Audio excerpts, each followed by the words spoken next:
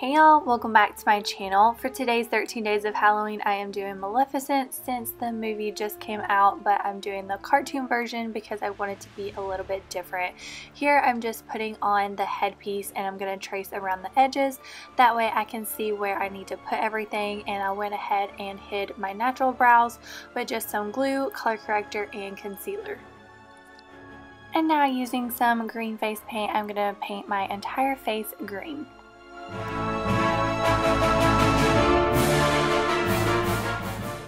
And still painting. This is definitely what took the longest and when I get to my brows I'm actually going to use my fingers that way I can press it in and I won't mess up my brows. And I am going to paint higher up once I get the brows and everything done. That way you won't see any of my skin once I put the headpiece on.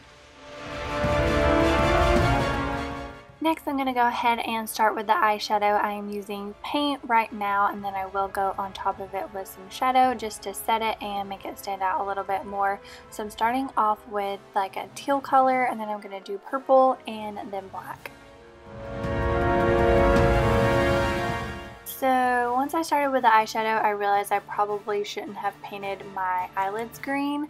The eyeshadow probably would have stood out more if I wouldn't have. So if y'all are going to recreate this, maybe don't paint your eyelids green.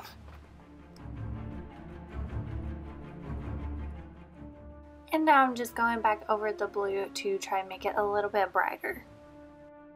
Next I'm going in with black. This is what's going above the purple and I'm starting off by kind of making the marks where I'm going to contour my nose because it kind of all goes together.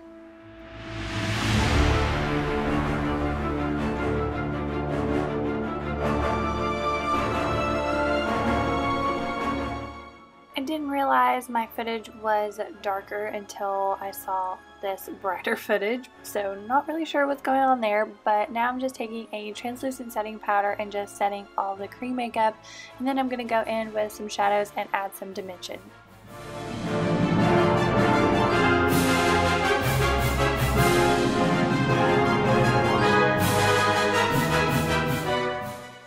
Maleficent's cheekbones are pretty sharp, so I'm taking a skinny brush and a gray and black eyeshadow and really making them stand out.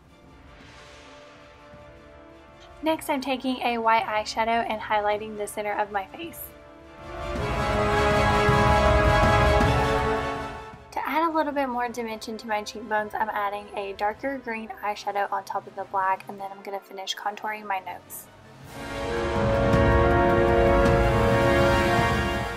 Now I'm taking a black eyeliner and lining my lower waterline and then I'm going to take a black eyeshadow and buff it along my lower lash line.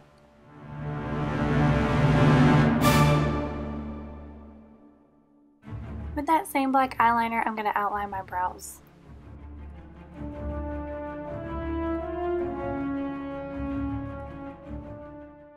Taking a liquid black eyeliner, I'm going to line the top and do a little wing, and I'm also going to add a point in the inner corner.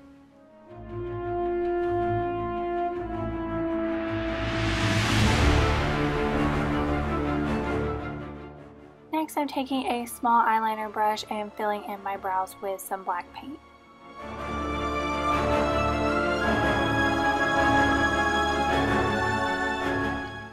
Applying a red lipstick and then I'm going to take a black eyeliner and shade in the outer corners of my mouth.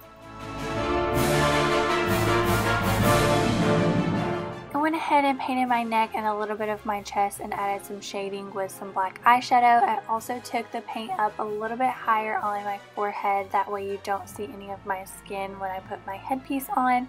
But now I'm just throwing on some false lashes and that will complete this look.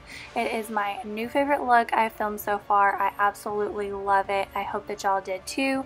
If you did, please give this video a thumbs up and don't forget to subscribe to my channel so you don't miss my other Halloween looks. But thank you so much for watching and I will see y'all in my next video.